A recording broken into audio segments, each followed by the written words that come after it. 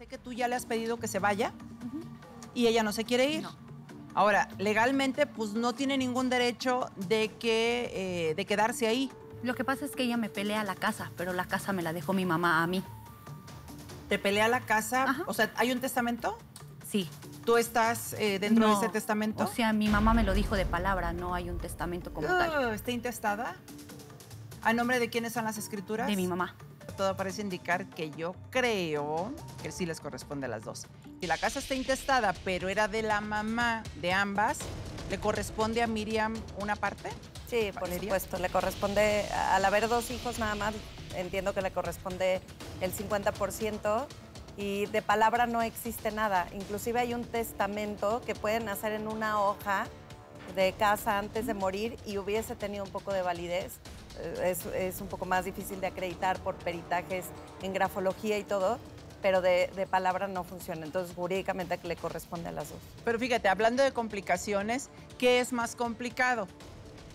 Un testamento de esa naturaleza, como lo que acabas de decir, que no es lo idóneo. Lo idóneo es uno, que vayamos a un notario, este, dejemos ahí patentado nuestra, nuestro, eh, o sea, establecida nuestra última voluntad, etcétera. Pero de eso a nada, pues mejor aunque sea un un- una, una hojita escrita, ¿no? Sí, sí, sí, sí, que con otros documentos hagan peritajes para ver si era la firma de la señora, aunque sea post-mortem. Ahora lo que tienen que hacer es un, juicio, es un juicio testamentario que se va a llevar cuánto tiempo, pues quién sabe cuánto tiempo, pero de que le corresponde algo, sí, Damaris, porque es tu hermana gemela y porque está reconocida como hija de un matrimonio, que eran tu mamá y tu papá. Vamos a hacerla pasar para saber cuáles son sus otras intenciones, porque ¿a quién en su sano juicio? Yo soy muy intrigada. ¿A quién se le ocurre llegar? O sea, llego sola y pues ok, llego sola a adaptarme, a conocer, a convivir, ¿no? Pero luego, o sea, llego ahora sí que con, con- con- alguien ahí acompañando a que viva en la casa de mi hermana, que ni siquiera conozco prácticamente, y además, dejen, Uriel toma decisiones en la casa, ¿eh? A ver, Miriam. Agradezco que Damaris haya ido por mí, porque ahora sé que esa casa también me corresponde. Mi hermana es una malagradecida. Lo único que quiero es trabajar. Mi sobrina Lynn me tiene más confianza a mí porque yo le enseño cosas de la vida. Bueno, Miriam, bienvenida. Oye, tengo muchas cosas que preguntarte. Realmente estoy, pues, bastante intrigada acerca de decisiones que has tomado totalmente fuera de lugar. O sea, de entrada no conocías a tu hermana. Ok. La conociste cuando ya te buscó. Así es. ¿Y a quién en su sano juicio, mujer, se le ocurre llegar con, con un acompañante, en este caso de tu primo? Él es mi carnal porque yo me Pues es con tuyo, pero no de tu hermana. Pero es mi casa y me corresponde. Por eso ella me fue a buscar. Me fue a buscar ella, le pedí permiso para poner un negocio y él es mi socio, es mi carnal, es mi primo. Sí, yo lo invité a estar conmigo, no se vino luego, luego se vino después. Pero está ¿Y ella te dio conmigo. chance? No, no tenía por qué pedirle permiso porque es casa de mi madre que me corresponde también a mí. Digo, si mis padres nos separaron desde muy chiquitas, no es casa de ella nada más, también es casa mía. Y si ella no te hubiera buscado, ¿cómo hubieras dado con ella? Yo hubiera, da- si ella no me hubiera buscado, yo hubiera buscado a la ella. Hubiera ¿Cómo? sido todo, no sé, ¿Por qué no lo hiciste? por redes sociales, porque mis papás así fue. Ellos nos separaron. ¿Hace Yo cuánto trascendió tu papá? Mi papá tiene que falleció, ya tiene mucho tiempo, ¿Cuánto? como unos siete años. ¿Y por qué no buscas a tu hermana? Porque yo me acostumbré a la vida de allá. Mi papá me apostó desde muy chiquita. Lo Rosy. sé, pero eh, los- tu hermana te rescató de la persona Pero con la ella que no vivías. sabe la vida que yo viví. Ajá. Yo sufrí. Mira, No ella no sabe la vida que tú viviste, estoy de acuerdo, pero tampoco tiene la culpa, ¿eh? O sea, ella no es responsable de la vida que tú viviste. En todo caso, a quien sí debiste haber responsabilizado y al resto de tu vida, si se lo quieres cargar, es a tu papá. Porque él fue quien te apostó. Él fue quien tomó, no malas, pésimas decisiones. Eso no se hace con un ser humano. Ahora, si tú ya, siendo mayor de edad, porque te apostaron a los 15 años, y te enteraste que te apostaron. Oye, cumplo 18, me apostaron, pues me apostabas porque yo me voy o no. Me desaparezco, huyo, corro, denuncio, hago lo que sea, Valeria, pero salgo de ahí. No me espero a que alguien vaya a rescatarme, porque aparte, o sea, Cuando soy menor de edad, estoy corriendo un peligro inminente y de alguna forma puedo hasta desconocer mis derechos, ¿no? Sí, de, de hecho iba a denunciar, o sea, yo me imagino estar en su lugar, que por supuesto es muy difícil eh, saber cómo ella lo vivió, pero inmediatamente a los 18 años, con capacidad legal y jurídica, acudo al Ministerio Público y denuncio a la persona eh, que, que- que- que me tiene bajo su... Pues es un secuestro, ¿no? Es una trata de persona. Entonces, lo hubiera, para que hubieran tomado cartas en el asunto y hubieran responsabilizado a quien entregó y a quien recibió a la persona, porque es un delito y de los más graves con 15 años de prisión. Ah, Claro, ahora, ¿qué tanto derecho tiene Miriam de llegar una vez que la invitó su hermana? a- acompañada de una persona que, que no conoce a la familia. O sea, a mí me parece riesgosísimo. Vamos a suponer que sea el primo más cercano o el carnal, como dice, ¿no? Al final del día es un desconocido para dos personas que están viviendo en esa casa, ¿no? Yo creo que haciendo un juicio ante el juez familiar y ante la fiscalía, acreditando quién ha pagado, quién ha habitado ese inmueble, y mientras no esté una sentencia de, una- de un juicio sucesorio intestamentario, no podrían haber esos movimientos. Mm. Porque, por ejemplo, ella, la, la hermana, la gemela principal, la que ha vivido ahí todo el tiempo, pu- Ujú. Damaris puede acusar eh, de invasión a la propiedad privada a este primo carnal porque no tiene el por qué estar ahí, independientemente de que la otra hermana la- le permita entrar porque jurídicamente todavía no tienen derecho sobre esa casa. Ok, además están ocurriendo cosas bastante irregulares en ese predio porque se te han desaparecido cosas, ¿no? Electrodomésticos a partir de la llegada de Uriel. Ahora, yo sé que Uriel dice, no, pues sí, es que yo las he tomado para venderlas porque pues hay que invertirle al negocio. Así debe de ser, Rocío. Ahora, la- Así debe de ser con tus cosas No, si no, no, quieres. se le Pero ¿por qué con las cosas de Damaris? se le pidió permiso a ella para apoyarla económicamente y ella me dijo, sí, puedes armar tu negocio, ¿sale? A ella se le Mm. A da ti, un gasto. a Pero ti. te di A ella se- permiso para que vivieras, no para que hicieras casa, un burdel. No, no, sí es no un es tu burdel. casa, Es porque mi no casa, es tu porque es casa. casa de mi madre. Pero no es tu casa. Sí, sí, es mi casa. un burdel. ¿Por qué no sí es un buscaste a tu madre? Porque yo me En vida. acostumbré a la vida de allá. ¿Ah, sí? En los pueblos así se Entonces digamos, entonces, entonces digamos que no hables de pueblos que yo vengo de uno y no se acostumbran así, ¿eh? Una, dos, o sea, digo, no generalices porque no, dependiendo de la crianza y de la educación que tengamos y la guía que nos den nuestros padres. Cuidado con eso. Una y dos, mujer.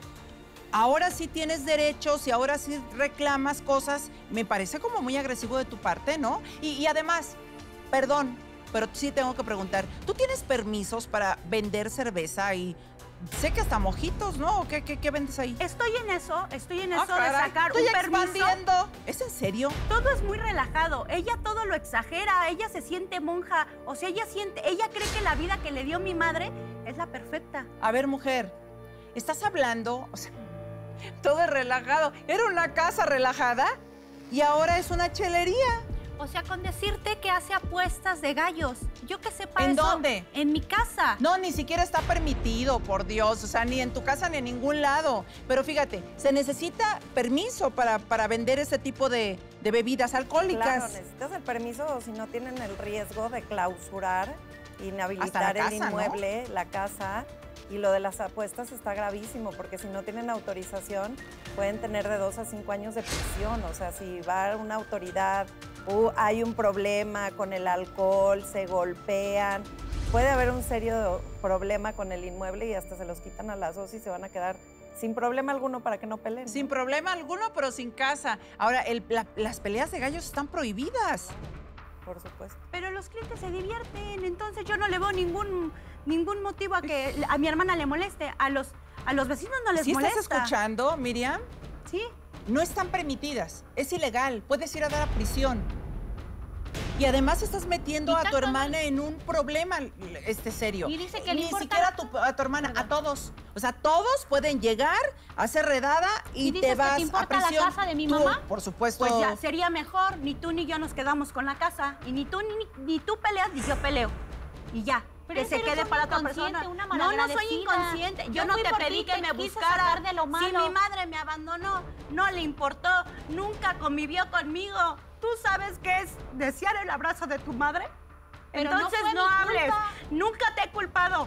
ni nunca te he dicho que es tu culpa. Pero tú viviste muchas cosas con mi madre que yo no viví. Le está recriminando cosas que no merece ser recriminada. Créemelo, ella no te, lo- ella no te hizo nada. Ahora, si tanto extrañaste a tu mamá y si tantos reclamos de esta naturaleza tienes, ¿por qué carambas no buscaste a tu mamá en vida? ¿Por qué no se lo preguntaste en vida? O sea, yo, yo es inconcebible. Ni, ni siquiera logro entender o comprender, Fraga, cómo es que la mamá se pudo ir así. O cómo es que el papá se pudo ir sin haber pedido un perdón, ¿no? Algo así. Claro. Imagínate nada más con este tipo de herencias. Sí, por eso se generan los duelos patológicos. Y seguramente, pues este resentimiento que le tienes a tu hermana, que no tiene nada que ver tu hermana, ese resentimiento va encaminado a tu mamá, porque no la has trabajado, no la has duelado y solamente te une a ella, pues esta ausencia y ese abandono que ella también te dio. Sí es importante que em- empieces a hacer conciencia de estas emociones de las cuales tienes, me imagino, guardadas desde hace muchos años y de las cuales te está inclusive pues causando muchos eh, trastornos eh, psicológicos, emocionales, esta ine- ine- inestabilidad emocional que lo que percibo. Ahorita te estaba diciendo la abogada eh, Valeria que pues lo que estás haciendo va en contra de la ley, que te pueden hasta meter a la cárcel y tú como si nada. Eso es un estado de inconsciencia de lo cual tienes que empezar ya a trabajarlo. No, o sea, lo, que lo que respondió, Sí. pues está mejor.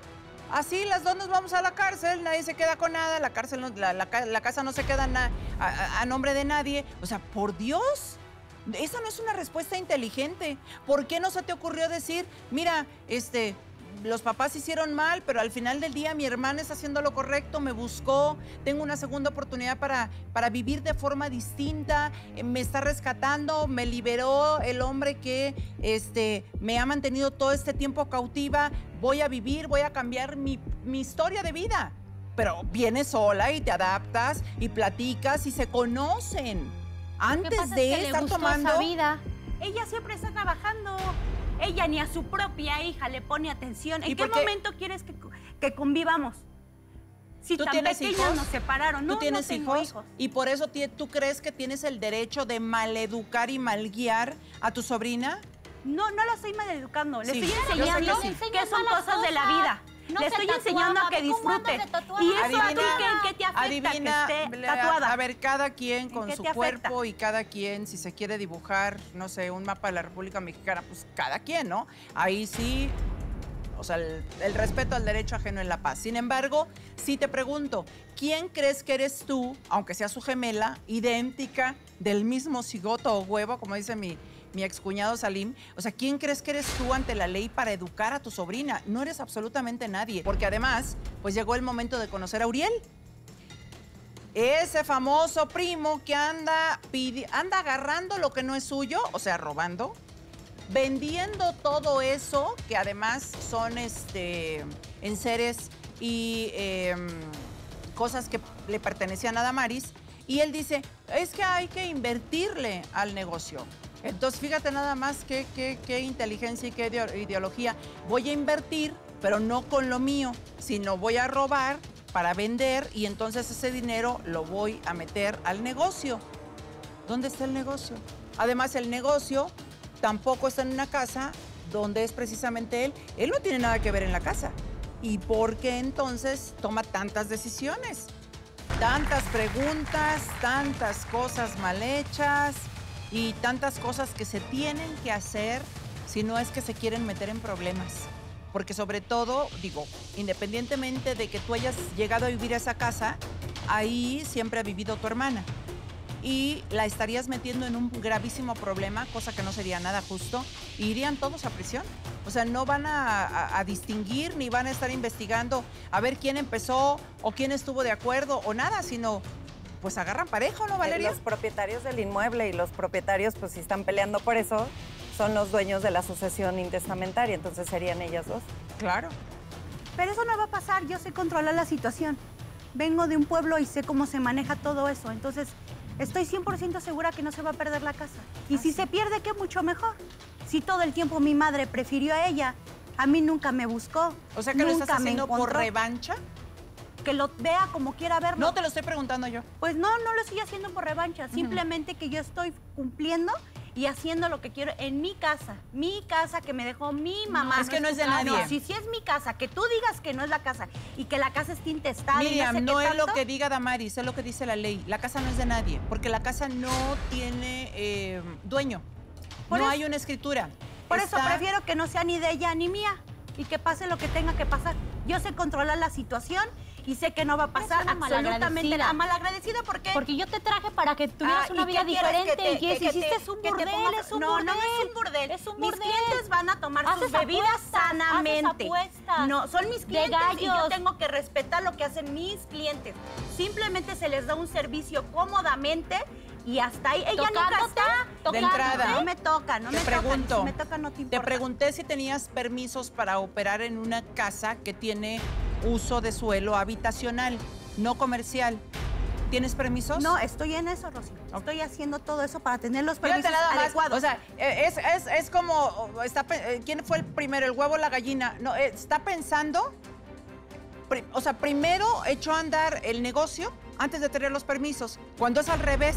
Ahora, ¿qué posibilidad existe, Valeria, de que Damaris denuncie estos, estos actos sin que le afecten? O sea, porque si ella no está de acuerdo en todo lo que se está haciendo en su casa, en su propiedad, aunque estés, sea su hermana gemela, pues, ¿podría haber forma de arreglar esta situación sin que ella se viera afectada? Sí, y, y de hecho el que ella denuncie la ayuda para protegerse de situaciones en un futuro, para que no la vayan a imputar como responsable de las apuestas que son ilícitas, de, algue- de algún problema con lesiones o homicidio que se vaya a dar adentro, que no haya permisos. Yo creo que sería lo correcto para ella protegerse jurídicamente, que si pasa algo eh, irregular ahí adentro, ella diga yo lo fui a denunciar a las autoridades. Tiene que hacerlo.